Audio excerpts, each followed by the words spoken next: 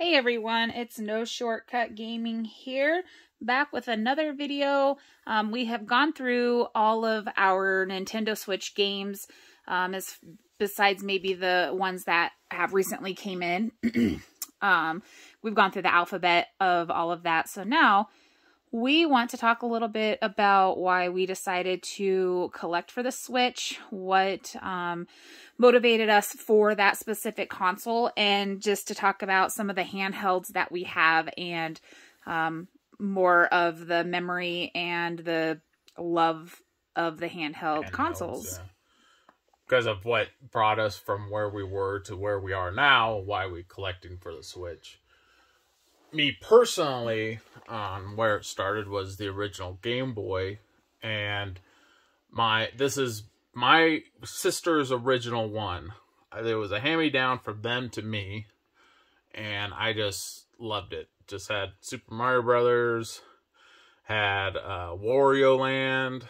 It, I played Wario Land a lot on this thing, and um, I just I just loved it. I we Pokemon, uh but see with me is uh, I didn't have any friends, so I had to get another Game Boy, and so I would trade Pokemons with myself, which was fine. but then I think my first game, my first console was my Game Gear. And um, this isn't my original one, so what happened was that was this was my first handheld that was mine. My mom bought it for me. I like Sega. My first console was the Sega Genesis, and um, she got me this. Well, as everybody knows, is that the Game Gear sucks batteries. It when I first got it, I went through eight batteries in the first day, and my mom said no no, I'm not. I'm not keeping this. Is there anything you want to say about your I I don't remember a whole lot. I know that I got a Game Gear from my grandparents, um, and I maybe got one game. I, I don't even remember. Um, I just remember it being a Game Gear, and I didn't have any other handhelds growing up. This was the only one. I don't even know what happened with it. I don't know if it, I have no idea what happened to it. I don't even think I played it that often because I was so young when they got it for me. I was maybe like seven. Seven mm. or eight, I guess. I don't know when it came out, but I feel like I was super young um, to to be playing it. So, yeah, I don't remember any game I played on it at all. No, that's crazy. Yeah, I I had Sonic on mine was the first game. And so then my mom took this away, went and returned it that next day. So I had it for one day. Eight batteries. My mom went and returned it. So then take that one down. And then we had, and then the blue one is the one I got. Was the Game Boy Pocket. Now this one was my Game Boy, which is the Game Boy I used to trade with my sister's one with Pokemon. I got I think I bought, I think I got Pokemon Blue with this one. And I played it, played it, and, uh, and then when the Pokemon Color came out, was when, um, the next generation of Pokemon came out. Was when I got that. And, uh, so my parents wouldn't buy me console games and they wouldn't buy me consoles as much as they would with the Game Boys because my parents are very into um, things that function, have a mul- multiple functionality, especially with the Game Boy. The Game Boy was different, you know, you could play Game Boy, you can play the Game Boy Color, you know, Game Boy games were super cheap at the time. You know, you're looking at 30 to 40 dollars versus 50 to 60 dollars for a console game. So it was a money situation and i could take this on road trips. Kept me quiet for hours. And yeah. yeah, so that, that's why i got kind of i got more into handhelds than i did anything else. So then now at this point the game boy advance showed up. Now this is my first handheld that I personally bought myself. I remember I was working at McDonald's at the time, and Pokemon uh, Super Red or Pokemon Violet Red came out, Ember Red, and you remember uh, Dave? He had that and playing Mhm. was playing it at McDonald's, Yeah. Yep. and I was like, oh man, I I want to get a Game Boy Advance, and I took that everywhere.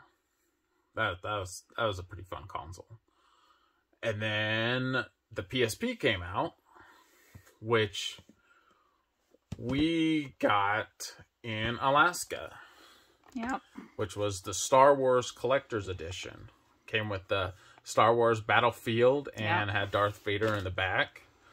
Um, and the only reason why I bought it, I wasn't really thinking about buying a PSP. But the only reason why I bought it was because your mom said that they didn't have sales tax Yep. up there in Alaska. And I was like, oh, no sales tax. Heck yeah. Well, and wasn't it uh one of those stupid stacker games? The PSP was a prize. Yeah, we and were. we were getting playing- so close. And I feel like if I remember right, as we were playing it, we had we were getting so close and we just couldn't hit. You're like, oh, screw it, I'm just gonna go buy one. Yeah. Yeah. I'm not gonna right waste at- my money on a game anymore to buy a game. Yeah, because it was right at the. We kept getting to the end. Yep. And the Yep. last dot, I could not get it lined up. yep. I don't know how much money we put, Oh, spent don't on know. that. It was ridiculous. But I do remember, yeah, at that point, then you're like, oh, screw it. We're just going to go buy it. Yeah, just going to go buy it because we're just wasting our money, even though it was fun. yeah, yeah. And So, I got quite a few games. I think I got more games from buying more PSPs, just by you know buying a bundle of them, than I did actually having the console itself. yeah. Um, and then we got your DS that we bought, Yeah. and this was what? So I guess this was essentially your This is my first console. handheld. yeah, Yeah. I guess I have owned a handheld technically because I got this one. Yeah, I think I bought that in Alaska as well. Um, I think so because I think we ended up yeah because we got that and in the the like Nerf rubber thing, Protection thing. protector Oh, that's right. Yeah. that went on it, and I know one of the one of the only reasons why I wanted the DS was because of the Mario game. I think it was Mario Party that had the mini games, and you had to find Luigi. That and wasn't it uh, Cake Cook or Oh Cupcake Cook? yeah, You Yeah. loved the heck out of that, that game. was a lot of fun too. You played that and you beat it, and then you're all like, "Oh, is this it?" Yeah, I don't think it had an ending. I don't think so either. I think you just think kept it just kept going. But yeah, that one was a lot of fun. But yeah, that that Luigi one was like one of my f- the whole reason why I wanted a DS. But yeah, so then the DS was a lot of fun. Actually, I do like the DS. I think I played a lot of games on it that I enjoyed because they were kind. I mean, they weren't really. I I guess I really wasn't into strategy games at the time. It was more or less making cakes at a time crunch, finding Yeah, it was- Luigi during a time crunch. Yeah, it was definitely aimed at the casual gamers versus the hardcore gamers. Yeah. In my personal opinion, Yeah. that's how I feel about it. And then I got myself a 3DS when that came out, Yep. which is the one that I bought myself. Oh goodness. Yeah, I did not take care of that box very well. No. But two hundred and fifty dollar. Good old Hastings sticker. Yeah, that was the first first one that Yeah. came out. Or that game that's not GameStop. No, Yep. And that one I remember trying it out with the 3D and I was like, "Oh, I can't do the 3D." yeah, It looked awful. I, I didn't use it. Yeah. It was it was the crazy. only reason why I bought it was because Ocarina of Times was coming out on it, Yeah. and I was like, "Oh, that would be the thing to play while I'm going to the bathroom." Yeah, I mean, essentially that's where it was. Yeah, But yeah, the 3D on it was terrible. But Oh, I so mean, it was still nice. I want isn't it bigger than the regular DS or is it the same size? I think it's the same size. They did come with an XL, which then is what I upgraded. Oh, that's upstairs. Yeah. But yeah, I didn't. I upgraded to that one, which is way bigger for adult hands and adult eyes Yeah. than this small one because I, if I, when I hold it, I dwarf it. It's it's ridiculously small in my hands. Yeah. Yeah. I, I think it's laughable. But then the Vita came out was was uh I I wasn't gonna get it. I I was not gonna buy this one because the the SD cards were only Sony. So I wasn't that's another expensive. There wasn't any games that I was like super excited with. I was like, oh yeah, that's cool. But uh and then I watched one of the YouTubers, they did the best hits, and I was like, okay, okay. Maybe I might dive into it, and I wish I would have. I wish I would have bought it at launch, because this is what comp. This is what handheld should have been, and I know that they couldn't have been at the beginning, but as a kid, you're like, oh man, I why doesn't my you know Super Mario Brothers look different than my Super Mario Brothers on the Super Nintendo. You know, I never I never understood why they couldn't do it because I was a kid.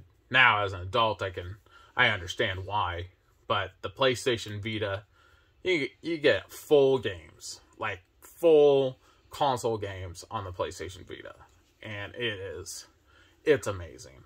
I I didn't like the the backwards touchpad thing, but if you really play it and really get into it, yeah, that backward touchpad thing is it actually works very well. And then, yeah, and after that, I the Switch came out, and that's where we, which was, of course, we have the Switch Lite as well, but yeah, which was the hybrid of a handheld you can take everywhere and just yeah, it's what we decided to do. Yeah. I, I think we kicked a couple ideas. I, I know I've always wanted a uh, full collection of something, but I think we kicked a couple ideas around. I thought maybe we could go for a full Vita collection yeah. when we were collecting before the Switch came out. I think I think I did throw that out there, or a uh, full collection of the original Xbox. Yeah, that was another one. It, but I think that it came it came down to, of course, we didn't even imagine the Switch would explode this much. No. Um, for this long, but I think what it came down to was that knowing, knowing that those game consoles had already been out for years. Mm-hmm. There was already, you know, games out there that were going to be hard to find if you could even find them. Now, there are a lot of people that have gotten them and have found them.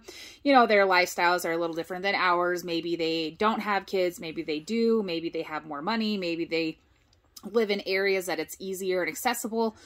The their lifestyles are just different. So I think when we really sat down and talked about it and decided what we were going to do, it was well, how can we miss a game if we buy them brand new every time they come out? We're not going to be searching for games now. Now, as we've we're six six years in, six or seven, six. It's over six years. Yeah. In and you know things have maybe we don't have every single game for the Nintendo Switch right now for every country. You know, it's not that we were going to go for every single country anyways, but you know, we really went hard on it for the first four to five years. Four and a half years. And it just uh, got to be extremely overwhelming and and now we're continuing what we're doing, but in our mind I think that we didn't know there was going to be this many games. no, because if you look at otherwise we would have probably done the Vita. yeah, because if you look at the lifespan of any consoles, it's like 800, 900. I think PlayStation on its biggest day was like 1500. Yeah, and that's the first PlayStation. Not four five thousand plus now. Yeah, yeah, we are. Yeah, we, which we still need to do a head count, but yeah. we are past at least 3,000 games. Yeah. Yep. And that's not Easily. worldwide. It's It's US. It's US and then some special, of the specialty games. Yeah, special games, limited run. But I think that that was again in hindsight thinking it, you know, would I do it all again? Maybe. But um it's a collection that I think I'm proud of. I I am happy with the sea of red. I think that I think that in my mind 7 years ago when we first talked about it I thought, "Oh, it's going to be easier to collect for the Switch than it would any other game." Now I don't think that's true. I think it would have been easier and less money to collect for a different console even if it was older games and we'd have to pay more for those older games. But To a point. it's still there are some games But that they- are like thousands of dollars. But now it's like those older games as we've played a lot of them since we've moved and been going through our collection in our game room. Now it's like the older games aren't really that much fun to play. Some of them are, some of them aren't.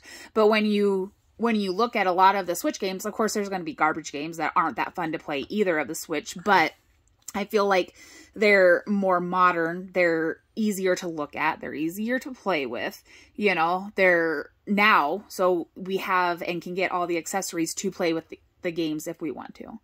The older consoles, we can't. So it makes more sense to have these to actually use the collection as we intend to do. We don't have a collection just to collect. We play and use what we want to. We're more apt to play with these games and enjoy them. I feel like me personally more than some of the older games. I said what I said. Yeah, I I don't I don't agree with that. I'd rather play the old games just because internet connection and maybe my eyes are a little bit more fixed on the older games just because I I played them when I was in my youth. I don't when I look at a PlayStation game or an Xbox original Xbox game, I don't see old graphics. I me personally. I can see new graphics, but I don't really see old graphics either. Yeah. I can see exactly what they are as And the how they time, were. Yeah, and how they were as the time Yeah. I was playing them. Yeah. Like we were just playing. That's Gaunt- true. We were just playing. What we were playing, uh, nightclub. on Midnight the, Club, yeah. Midnight Club on the original Xbox, and you're like, I don't know what any of this is. Can't see it. Well, it's what it is. it's, it's buildings, Yeah. cars, vehicles.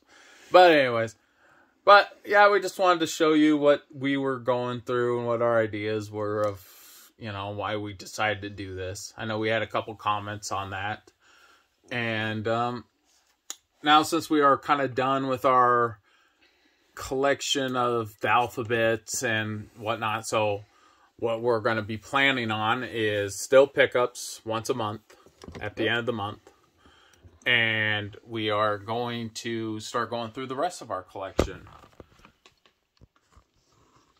just because uh, it's about time to go through something else. I know you guys have been watching us. Yeah. Well, thanks for watching. We appreciate it. Uh, we will continue to bring more video game content um, on other things other than the Switch as well. So thanks again.